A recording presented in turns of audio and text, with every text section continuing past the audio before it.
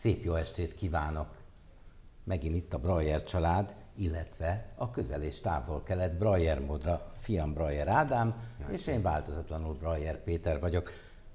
A legújabbig, illetve a legrégebbig, hisz hogyha már 72 éve ezt a nevet használom, akkor most már maradok ennél.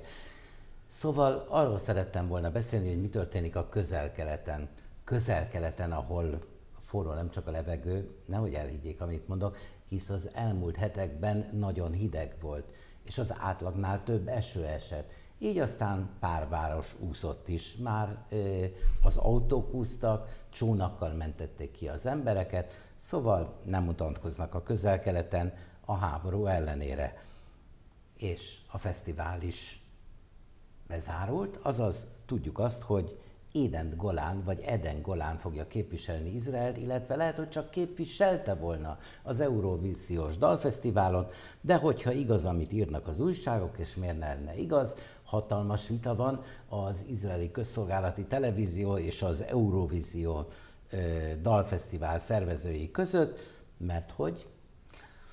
Tisztázzuk a helyzetet először is, tehát mint minden évben a az Európai Közvetítő Szervezet, az EBU, aki az Eurovíziós Dalfesztivált szervezi, az minden évben leellenőrzi a beérkezett dalokat, és meglehetősen egyértelmű a dalfesztiválnak a szabályzata, nem lehet politikai töltetű dalokat a versenyben megjelentetni. Ez mindig is így volt, rengeteg példa van a történelemben arra, hogy ezért vagy arra kérték a kedves országot, hogy változtassa meg a daloknak a szövegét, vagy egyenesen kizárták a dalt, hogyha a dal megváltoztatására vagy teljes erejére nem voltak hajlandóak a, a jelölt országok. Ezt láttuk Fehér Oroszország esetén pár évvel ezelőtt, ezt láttuk Georgia esetén is még a 2000-es évek végén. Tehát itt nem egy, egy soha elő nem forduló eseményről beszélünk, és valóban Édengolán dala ami meglehetősen konkrétan az októberi terrortámadásról szól, kétség nem is fér hozzá, felszólította őt is a verseny szervezője, hogy vagy változtassák meg a dal szövegét, vagy cseréljék le a dalt. Erre az izraeli ö, állami televízió ö, közölte, hogy hát ez nem fog bekövetkezni, és ezért jelenleg mennek a tárgyalások a, az izraeli ö, nemzeti csatorna, illetve az európai szolgáltató között, hogy mi lesz ennek a következménye. Még nem született hát Egyenes döntés. következménye ennek, hogy ö, Izrael Eurovíziós fenyei ö, tudathasadásban lesznek, azaz azt fogják hinni, hogy valaki üldözi őket. Nem fogják azt hinni, hogy valaki üldözi őket, azért legyünk tisztában azzal, hogy Izrael egy euróvíziós nagyhatalom. Ez azt jelenti, hogy nagyon sokszor szerepelt, többször megnyerte, második és harmadik helyzetekből is azért meglehetősen sok van, és ha valamit az izraeliek ismernek, akkor az Euróvíziós Dalfesztivál szabályzata. Ezzel mindenki tisztában van, ezt mindenki tudja, és több mint valószínű, amikor beadták ezt a dalt, már akkor is tudták, hogy ebből baj lesz. Én személy szerint ezt egy inkább egy marketing taktikának, vagy egy PR botránynak nevezném, ami arra hivatott felhívni a figyelmet, hogy szegény zsidókat megint bántják az európaiak. Itt feltehetően erről van szó, a dal szövegírói de 41 pályázatot adtak be a, a, erre a dalra, és abból 40-ben említik október 7-én. Így van, de van annyi esze az izraeli televíziónak, hogy tudja, hogy ez meg fog bukni, és nem fog átmenni. Na most azon kívül, hogy, hogy tényleg egy, egy PR háborút folytatunk ez ügyben, ezzel tulajdonképpen megnövelve a frontok számát, sok mindent nem nagyon tudunk vele elérni, mert mert az Eurovíziós Dalfesztivál szervezőinek sokkal fontosabb, hogy igazságosak legyenek. És ugyanúgy, ahogy Libanonnak megtiltották a részvételt három éven keresztül azért, mert vetítette volna az Eurovíziós Dalfesztivált, de reklámszünetre ment volna, amikor az izraeli versenyző megy föl, ahogy Jordániánál ugyanezt megtették, ahol Marokkónak is megígérték, hogy ez lesz a következménye, hogyha részt vesz, de nem közvetíti a teljes versenyt, Ugyanúgy, ahogy Oroszországot többször kizárták a versenyből, ahogy Fehér Oroszországot, hogy Grúziát is már. Én pedig, amikor ezt a hírt vettem, akkor meggyőződtem, meggyőződésem volt, hogy már megint tényleg üldöznek. Na igen, jó, hát azért már nyugodtan állíthatjuk azt, hogy zsidók vagyunk, tehát adhok minket mindig üldöznek, mindig mindenki valamiért éppen üldöz. Jelen esetben én azt gondolom, hogy az Eurovíziós Dalfesztivál, függetlenül attól, hogy az európai baloldal egyöntetűen Izrael ellen van a jelenlegi gázai konfliktus, vagy a Hamasszal való konfliktus ügyében, ettől függetlenül be kell látni azt, hogy jogos a panasza a szervezőnek. Tehát függetlenül attól, hogy valóban egy rendkívül baloldali, egy rendkívül woke, egy rendkívül PC kulturális rendezvény sorozatról beszélünk, aki amúgy is Izrael ellenes lenne a jelenlegi politikai helyzetben, ez a döntés, vagy legalábbis ez a vita, mert döntés még nem született meg, ez alapvetően nevezhető jogosnak is, és nem mondhatjuk azt, hogy nem voltak az izraeli részvevők tökéletesen tisztában azzal, hogy mi lesz a következménye annak, hogyha, hogyha ezt, a, ezt a lépést megteszik. Ádám, te teljesen objektív akarsz lenni. Én viszont arra gondolok, az jutott eszembe, Igen. hogy megint üldöznek, és két perccel ezután, hogy a hírt vettem, elolvastam a az Európai Unió külügyminiszterének a tanácskozásról egy tudósítást, mm.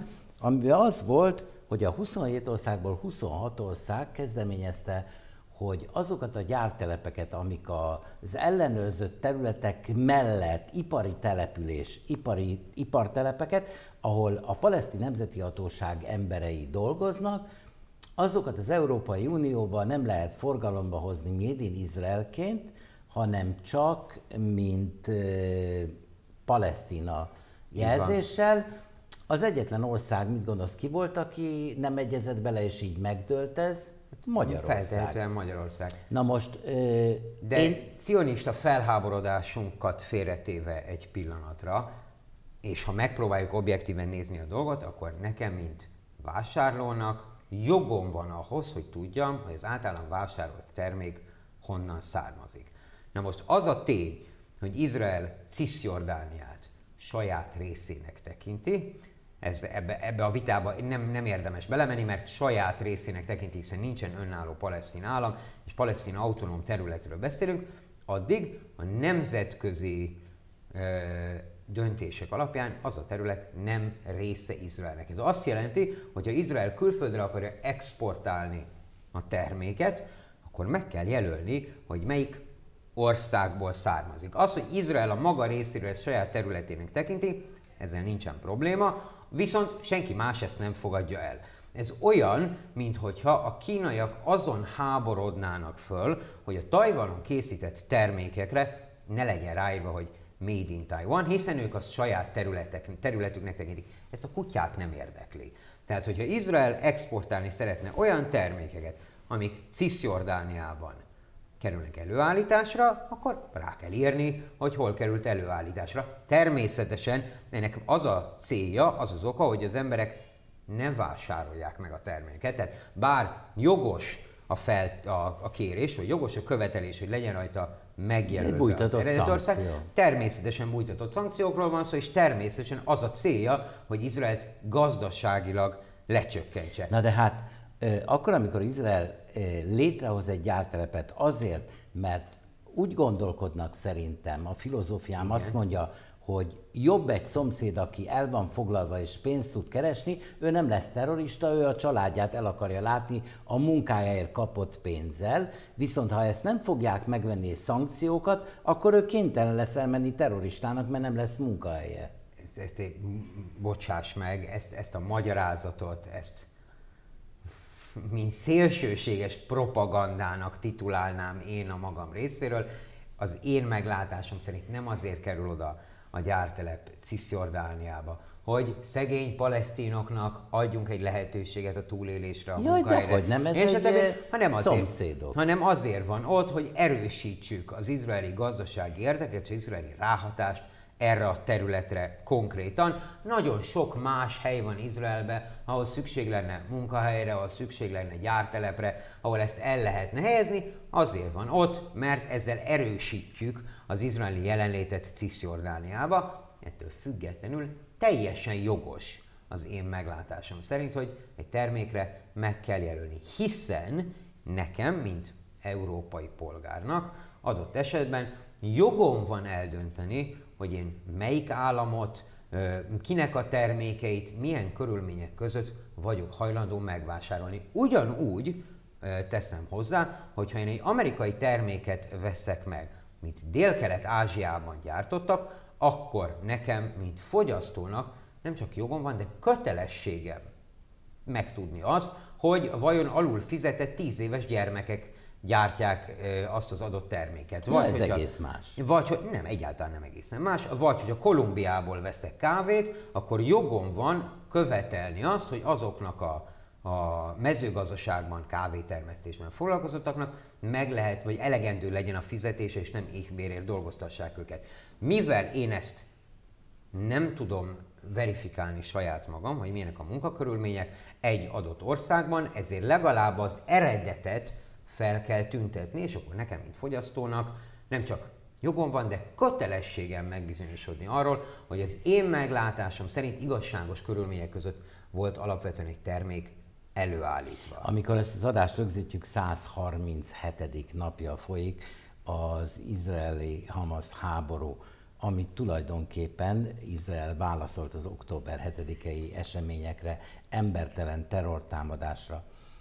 Több mint egy hónapja, hogy Izrael a franciák közvetítésével a tuszoknak személyes gyógyszerküldeményt küldött el, ami idáig még nincs dokumentálva, ha bár e, tegnap a koraesti órákban az Elizé palotából azt közölték, hogy nekik már nem kézzel fogható, de bizonyítékaik vannak arra, hogy ezek szétlettek osztva, illetve hogy megérkeztek a címzettekhez a katári emír így aztán a jövő hét elején vendégként Párizsba látogat, és az Elizé palotában fogadják, ő biztos visz magával valami konkrétumot, ami ezt bizonyítja, hogy ez átadásra került.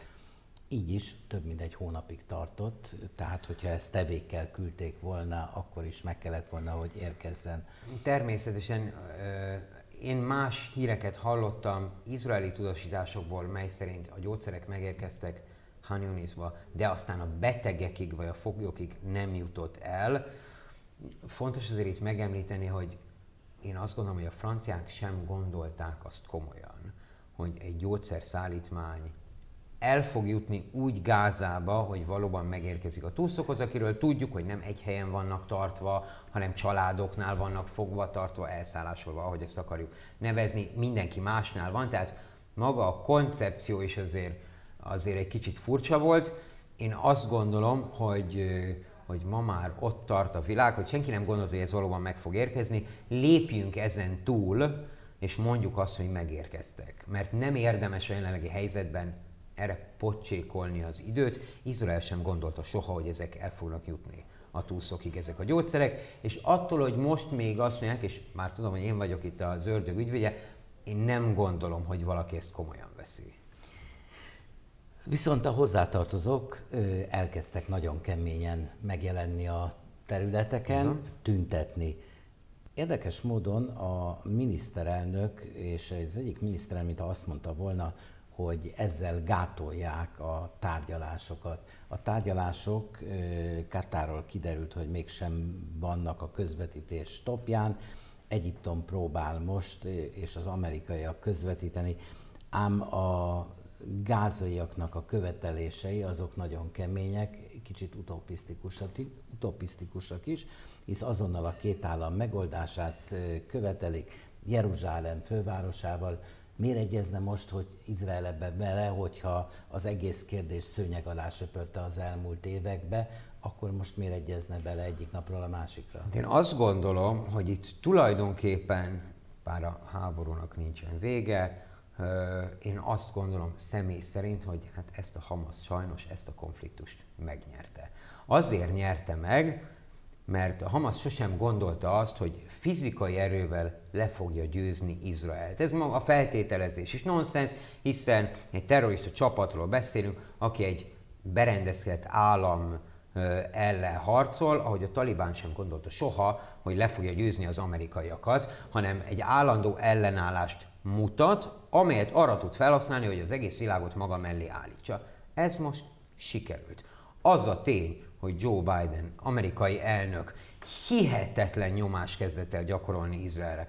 A két állami megoldás mellett ezt, ez eddig sosem láttuk. Hiszen a különböző busok, mint ahogy Donald Trump is, és még Obama is sosem vette komolyan ezeket a, a palesztin mozgolódásokat, mindig tönkben Izrael rá volt bíz, hogy csináljon azt, amit akar. Az utolsó idézőjelben politikai konfliktus a két ország között Golda Meir idejében volt, és azóta ilyen erőteljes, nyugodtan nevezzük Izrael ellenes amerikai megmozdulásokat nem láttuk. Sem a demokraták, sem a republikánusok nem képesek ma már ö, egyöntetűen kiállni Izrael mellett, mert politikai öngyilkosság lesz. Ez, ez most a választások miatt is? Amúgy is, amúgy is nem kép, nem lehet kimagyarázni a 30 ezer palesztin halottat. Tehát mivel az izraeli katonaság elég sokáig tartott, amíg bement Gázába, és elég sokáig tartott ez a font, hiszen már négy hónapnál több ideje tart az dolog, és még mindig nincsen vége, tehát még mindig vannak palesztin, élő palesztinok. De minden katonai még... szakértő megmondja, hogy egy sűrű lakott területen egy hadsereg nem tud győzni. Attól függ, hogy mennyire ez a hadsereg, ez mennyire veszi komolyan a civil áldozatokat, és, és mennyire nem veszi őket komolyan. Most, ha úgy ment volna be az izraeli hadsereg, hogy nem érdekli őt a civil lakosság, és mindenkit megöl, akkor ennek a történetnek vége lett volna egy-két héten belül. Ha teljes mértékben mindenek előtt a civil életet, mindenek fölé helyezi a civil életet, akkor nem tudnak megmozdulni. Az a probléma, hogy a kettő között választotta a lehetőségeit a Cahal, az izraeli védelmi erők, és ezzel tulajdonképpen mind az izraeli szélső jobboldalt, mind a nemzetközi baloldalt sikerült maga ellen fordítania. És pont ezért mondom azt, hogy hát ezt, a, ezt a konfliktust a Hamas marketing és PR szempontjából megnyerte. Mert azzal, hogy megölt Izrael, az izraeli hadsereg 30 ezer palesztin, mindegy, hogy civilnek vagy Hamasznyiknak hívjuk őket, megölt, ezzel a Hamas bebizonyította idézőjelben azt, hogy itt Izrael az agresszor, és ők nem terroristák, hanem szabadságharcosok. És ebből nagyon-nagyon nehéz kimászni ebből a helyzetből, és ha visszatér, térjünk vissza arra, amit az előbb mondtál, a valóban Izraelben egyre erősebbek a kormányellenes hangok, a kormányellenes tüntetések, és ellentétben nem de Izraelben, meg, Izraelben azért mégis győz a, a, a józan ész, hisz nem például van egy arab képviselő, akit 82 Knesset képviselő azt szavazta, hogy dobják ki őt a Knessetből, nem politikai, hanem a megnyilvános, egy izraeli állampolgár, egy arab pártnak a képviselője, tehát nem gyűlt össze a 90, hmm. és ha összegyűlt volna, akkor is a legfelsőbb bíróság, a Bagác azt mondta volna, hogy nem, ilyen nincsen.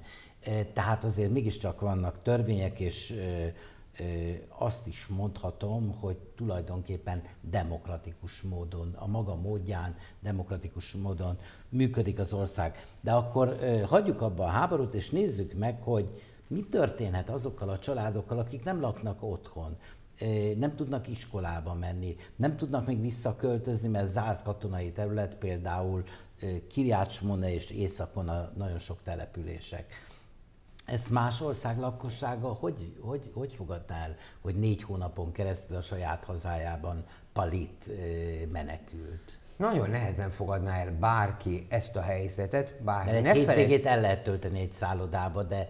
Bocsánat, azért az legyen teljesen egyértelmű, hogy az az izraeli, aki Cisjordániába vagy a Golán fensikra költözik, az tökéletesen tisztában van azzal, hogy ő hova megy, és hogy miért az ő szempontjukból, itt elvi kérdésről van szó, ők Erec Izrael nem csak polgárai, hanem jogos tulajdonosai, és oda fog költözni, ahova akar, még akkor is, hogyha az adott terület az nemzetközileg nem elismert, mint Izrael része. Na, jó, de az összes területek, amik az Izrael jogos határaitól 7 kilométerre vannak, Igen? Azok zárt katonai területnek van nyilvánítva, ezért volt eleinte 200 ezer család kitelepítve. Ezzel nem feltétlenül értenék egyet, mert, a, mert hogy a, a Holtengertől Eilátig azért elég hosszú határszakasz van, és miért ne lehetne a Holtengertől, a Holtengertől délre és nyugatra miért ne lehetne lakni.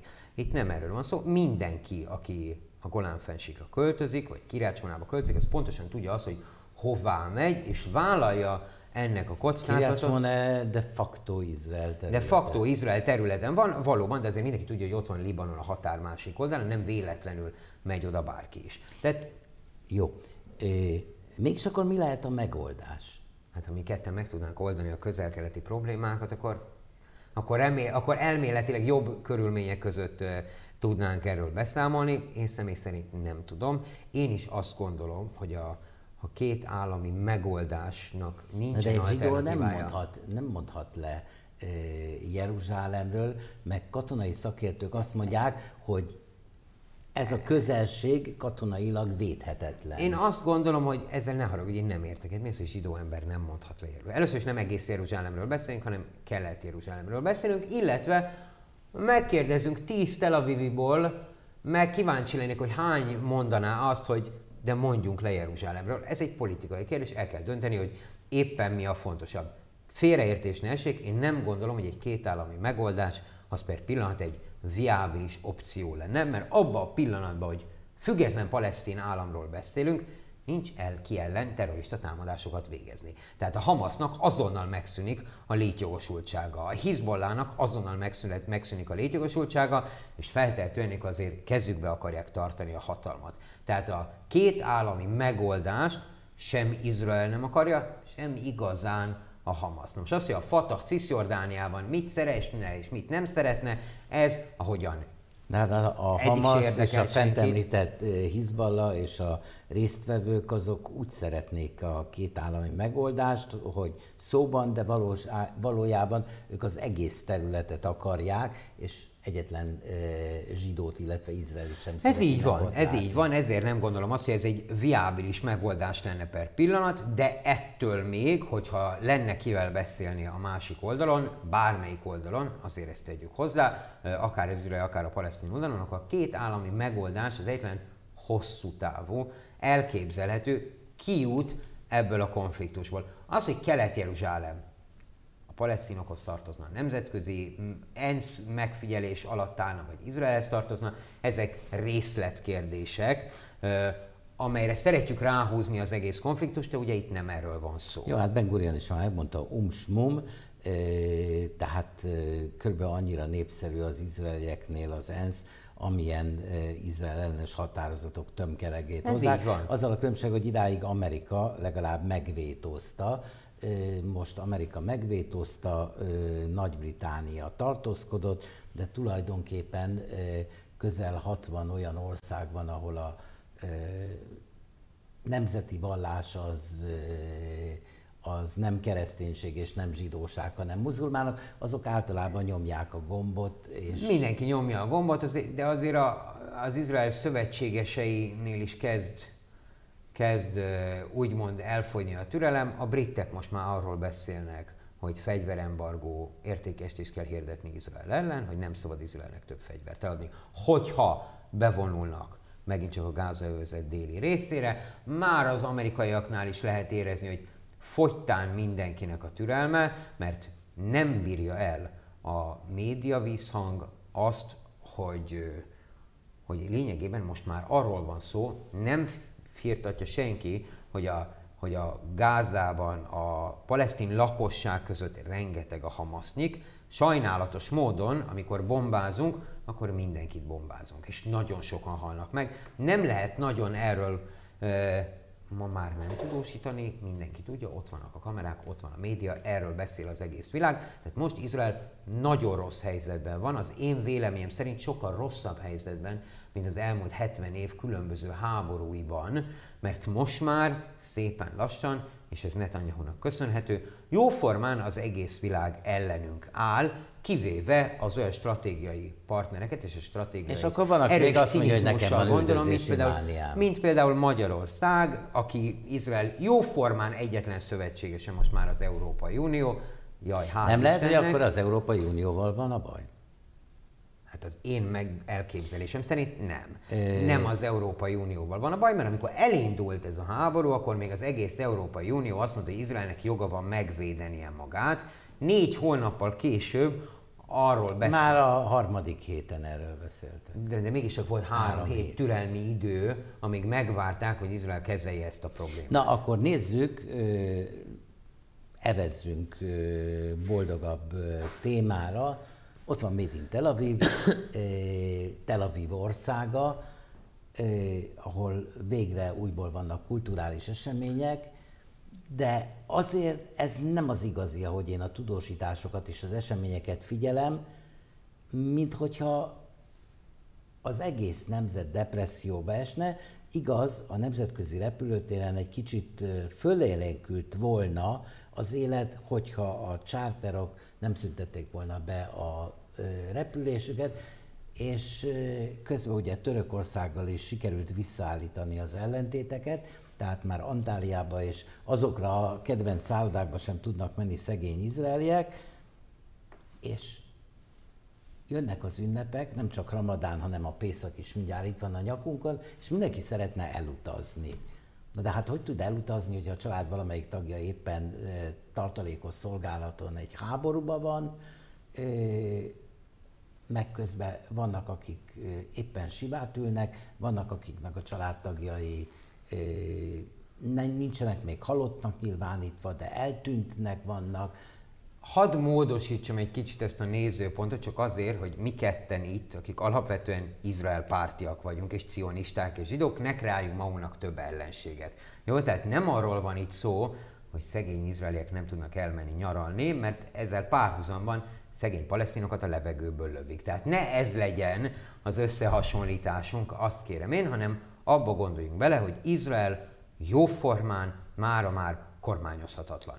Mert ellentétben meg nem nevezett közép-európai országokkal, Izraelben a tüntetéseknek valóban meglehetősen nagy tétje. ereje, tétje, ereje, jelentősége van, és létrejött egy olyan helyzet, hogy Netanyahu kormányának jóformán nincsenek szövetségesei és egyre kevesebb van jobb oldalt, és bal oldalon meg egyáltalán nem. Ugye ezt a jelenlegi konfliktus előtt már éveken keresztül láttuk, hogy Netanyahu-t újra és újra és újra kell megszavaztatni azért, hogy hatalmon maradjon, de az a tény, hogy nem képesek emberi hangnemben kommunikálni a túszok családjaival, ezt erősen rontott a helyzeten, hiszen az izraeli jobboldal az első pillanattól kezdve azt állítja, a szélső jobboldalról beszélünk, hogy nagyon fontos a túszokat visszaszerezni, de ez másodlagos jelentőségű. A legfontosabb a Hamaszt eltörölni a föld felszíne alól. Ez Izraelben egy eléggé furcsa hozzá, hozzáállás, mert eddig úgy volt, hogy akár egyetlen katonáért az egész ország háborúba megy. Na most az, hogy Netanyahu nem bírja elkötelezni magát sem amellett, hogy a túszokat helyezzük prioritásba, de igazániból amellett sem, hogy teljes erővedobással Gázát el kell törölni a föld felszíne fölül, ezzel a jobb oldalt is elidegeníteni saját magától, meg a bal oldalt is elidegeníti saját magától, és eléggé egyértelműen arra megy most már ki a játék, hogy Netanyahu kormányon maradjon, mert abban a pillanatban, hogy nem a miniszterelnök, onnantól kezdve elkezdődnek a civil perek, a különböző eljárások ellene, nagyon hasonlóan Donald Trump jelenlegi kísérleteihez, hogy mi lesz akkor, a vetlen nem választják meg, és nem ő lesz az új amerikai elnök, akkor egy sor bírósági per következik ez. Na de megőrült a világ, tehát valami megoldást kell találni, és nekem nagyon sok nem összekeverendő az izraeli jobboldal, az európai jobboldallal, az egész más. Itt egy nemzetállamról van szó, ahol valaki jobboldali vagy baloldali ugyanabba a tankba ül, és ahi testvérek. Így van, de nem és mindegy, főleg ezekben a napokban. De nem mindegy, hogy a vezetőség mennyire, mennyire gondolkozik egyformán, hogy a vezetőség mennyire hát akkor le kell, le kell cserélni menet. a parlamenti képviselőket, ki kell cserélni a kormányt, és újra kell az elképzeléseket indítani. Ez így van, azt látjuk a közel-keleten is, Izraelben, hogy szépen lassan a közel-kelet egyetlen demokráciájából kezdünk egyre jobban hasonlítani arab szomszédainkra. Azzal, hogy egy fix kormányt, egy állandó vezetést preferál a lakosságnak egy viszonylag nagy százaléka, mert az erőt abban látják, hogyha idézőjelben annyira stabil a kormány, hogy szépen lassan elkezdi elveszíteni demokratikus mi voltát. Nem fér ahhoz kétség, hogy Netanyahu-t megválasztották. Egyszer, kétszer, háromszor, négyszer, 35-ször megválasztották, egyre kisebb többséggel, egyre problémásabb koalíciókkal, de hát azért e, ne képzeljük e, azt, point. Hogy... De hát azt sem lehet elfelejteni, hogy a baloldal viszont olyannyira hatalmon akart maradni, hogy úgy tudott az a kormány, az utolsó kormány hatalmon maradni, hogy szélsőséges baloldali a hadással, illetve az arab-izraeli kommunista mhm. párttal kellett, hogy lepaktáljon, ami azért nem egyszerű, illetve olyan arab-izraeli arab pártokkal, akikkel háromszor meggondolnám, hogy bármiféle szövetséget. Te meg én meggondolnánk valóban, de nem mi vagyunk ma már a fő célpont. Hát Tehát igen, mi mert már lassan... én úgy érzem, hogy az menjen el a választani, aki ott veszi a tejet. Ha én Budapesten nem veszem azért, a tejet, akkor nem megyek el szavazni. Nem, ezt, mert tehát nem mi képviseljük ma már a fiatalságot, a növekvő fiatal generációt, a munka a munkapiacra most belépő embereket, ezek már nem a mi korosztályunkat képviseli, és a fiatalabb generáció miért ne ülne le egy olyan országba, ahol állandóan azt mondjuk, hogy itt vallástól, identitástól, származási országtól függetlenül mindenki egyenlő. Tehát a nagyhal megeszi a kishalat, és a közel-keleten ebbe az arab tengerbe mi is egyre arabok leszünk? Miért ne? Bocsánat, arabok eddig is voltak Izraelben. Ja jó, de hát Azt, most náluk, perc... náluk uralkodók vannak, királyok vannak. Eh, jó, tehát azért ne vegyünk mindenkit egy kalap alá, azért nem lehet összehasonlítani egy, egy szaudi teljhatalmú, nevezzük királyi családnak egy egyiptomi szabadon megválasztott, most nem a korrupcióról beszélünk, kormányal. Tehát azért a különböző arab országban különböző kormányzási formák vannak. Na, megint de, az objektivitás, igen. Igen, de Izraelben mindig is volt arab lakosság. Az, hogy 50 évig nem voltunk hajlandóak rólunk tudomást venni, attól ők még ott voltak. Az elmúlt 20 évben, igen, Izraelbe, pláne Tel Aviv államában, ahogy szereted mondani, egyre nagyobb hangsúlyt fektetnek arra, hogyha... Nem, nem hiszem, hogy nézőim ezt a, a szójátékomat ismerik, de hát akkor a különbségek, mert ugye Hajfa a munkavárosa, ott az emberek dolgozni Igen. járnak, Jeruzsálem a, a lélek, ott imádkozni járnak, Tel Avivban meg, ha lehet, a kobuliznak.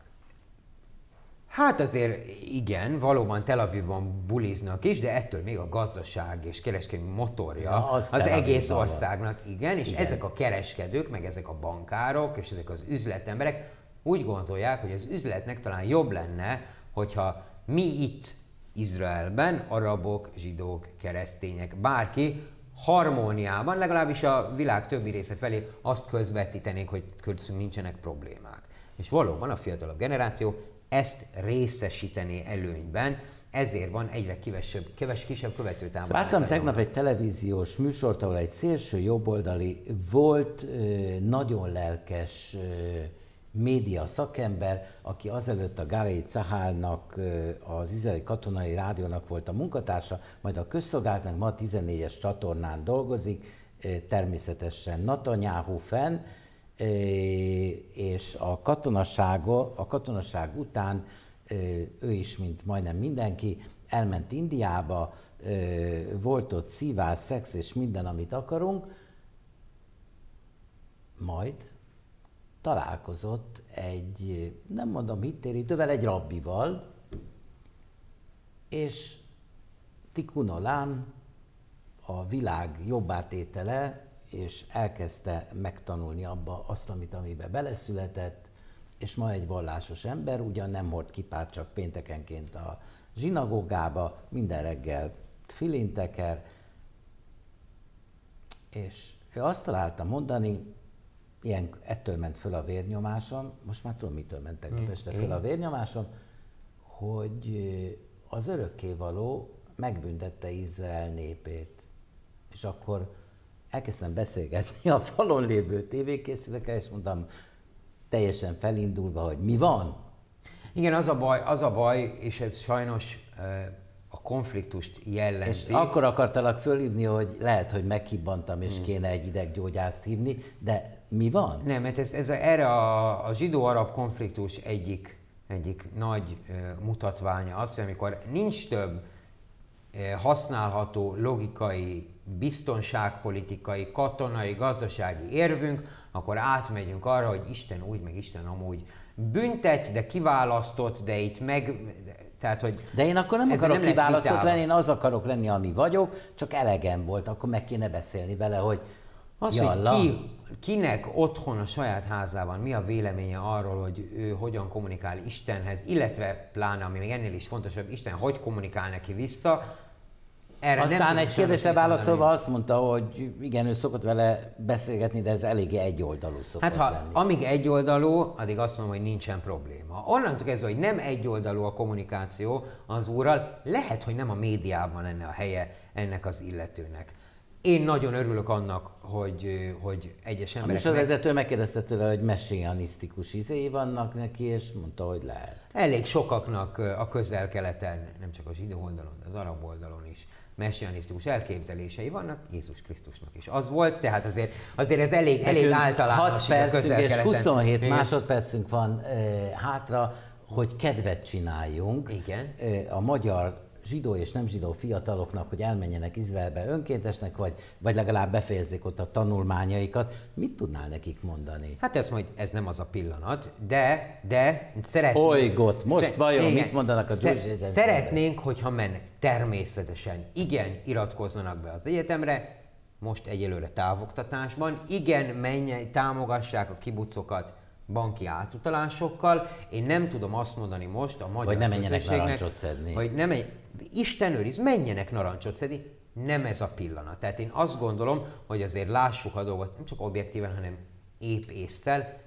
Hát hogy... én nem merném senkinek mondani, hogy menjen, mert ha Isten ments valami baja Így lesz, van. mi van a lelkiismeretemmel? Így van. De hogyha valaki úgy érzi, hogy most ő a cionistánál is cionistább szeretne lenni, és el szeretne menni Izrael földjét védeni, tényleges vagy elképzelt ellenségeivel szemben, akkor valóban menjen, mert kik vagyunk mi, hogy azt mondjuk, hogy nem menjen. Izraelben nincsen légió, tehát nem izraeli állampolgár nem is mehet el a hadsereg. De pillanatok alatt be fogják fogadni, lehet önkénteskedni, lehet segíteni ezerféleképpen. Izrael államát. Én nem tudnám azt tanácsolni ma most a magyar fiataloknak, Szerintem támogassák hogy úgy ki. a zsidóságot, hogy nézzék a heti tévét. Például az általam vélt objektivitással, Igen. mondjuk téged nem hívunk Engem meg, engem. mert a te objektivitásod az néha fáj, de hát ez az igazi objektivitás. Igen. Azért szoktam önöknek mondani, hogy egy általam vélt ö, objektív dolog következik. Mi van Izraelbe, ami nincs máshol?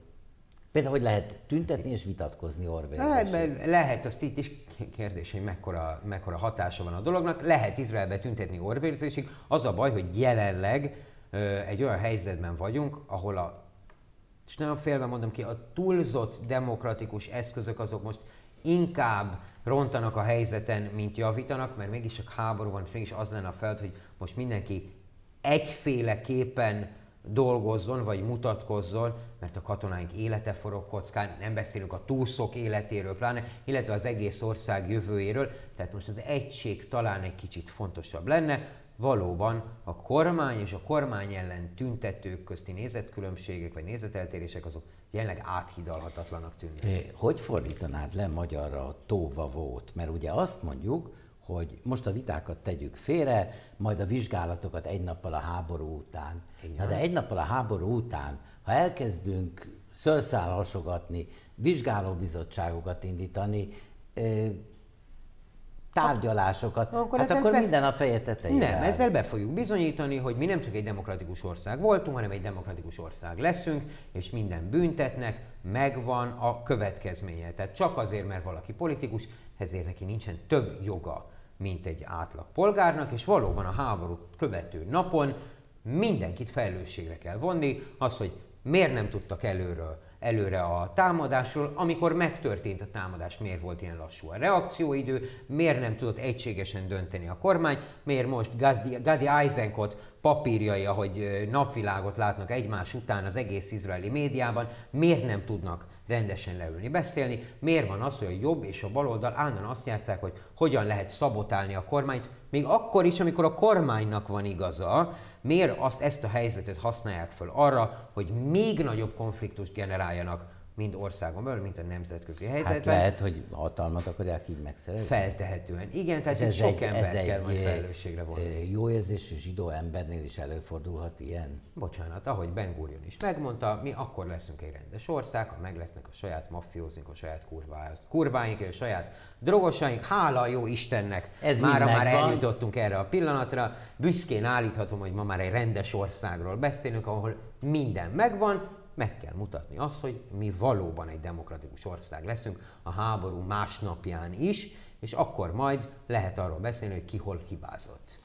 Mit tehetnek a mi nézőink, hogy jobb legyen, és mielőbb eljussanak az ígéret földjére, hisz Erec Israel, illetve ez az eseményeknek a központja, úgy az Ószövetség esetében, mint az Új Szövetség Azt esetében. tudjuk tanácsolni, vagy én személy szerint azt tudom tanácsolni a nézőinknek, hogy először is a híradá, amikor a híreket nézik, vagy amikor az újságokat olvassák, akkor egy kiegyensúlyozott képet próbáljanak kapni a valós helyzetről, egyrésztről, másrésztről ne keverjük a jelenlegi Izrael kormányát, Izrael állam egzisztenciájával, vagy Izrael állam létjogosultságával a kettő között semmi összefüggés nincs. Még akkor is, hogy azt gondoljuk, hogy Netanyahu maga az ördög, és mi nem gondoljuk azt, vannak neki pozitív és negatív oldalai, ez semmilyen összefüggésben nincsen azzal, hogy a zsidóknak egy országa van, ahol szabadon élhetnek, ennek semmi köze ahhoz, hogy igenis nekünk jár ez az ország, és ez a mi országunk, és ezt ne felejtsük el. Még akkor is, hogy a, utáljuk a jelenlegi kormányt, ne keverjük a kettőt össze. Nincs összefüggés. Hát amikor én fiatal voltam, és elképzeléseim voltak még a politikáról is, és ma is őszintén elmondom, hogy egy liberáli macmaim, egy önálló, független liberális pártnak szurkoltam, ahhoz képest most 72 éves koromra kemény likudistának érzem magam. Az idők változnak, de a Likud sem egyenértékű Benjamin Netanyahu-val. Jó, lehet az ember Likudnyik, és mégsem Netanyahu párti. Hát persze a Likud nem biztos, hogy azt mondja, hogy a Breyer eléggé jobb mondani, hogy Likudnyik legyen. Egy biztos, Izraelnek joga van ahhoz, hogy saját állama legyen, akkor is, ha mindenről legalább ötféle vélemény van. Tudják, az izgalmas, amikor leülnek kártyázni, és mondjuk a szomszéd egy fiatal párnak milyen ötleteket morzézhat át a falon, és ha minden szomszéd ötleteket adna, azok ülnének így az ágyba, ezek megőrültek. Mindenről véleményük van, és soha nem ugyanaz. Hát ha másért nem, ezért a hasonlatért érdemes volt ma bejönni. Köszönöm, hogy velünk voltak, és sok-sok egyéb hasonlatot hallhatnak tőlünk. Mi hamarabb, legalább két hét múlva újra itt leszünk, addig viszont figyeljék, objektív, általánvélt objektív híradóinkat, és az eseményeket, és az érdekes megszólalókat, hisz heti tévé csak egy van, volt, van, és önöktől függ, akkor lesz is további jó tévézést a viszontlátásra. Ádám, köszönöm, hogy itt voltál. Köszönöm én is.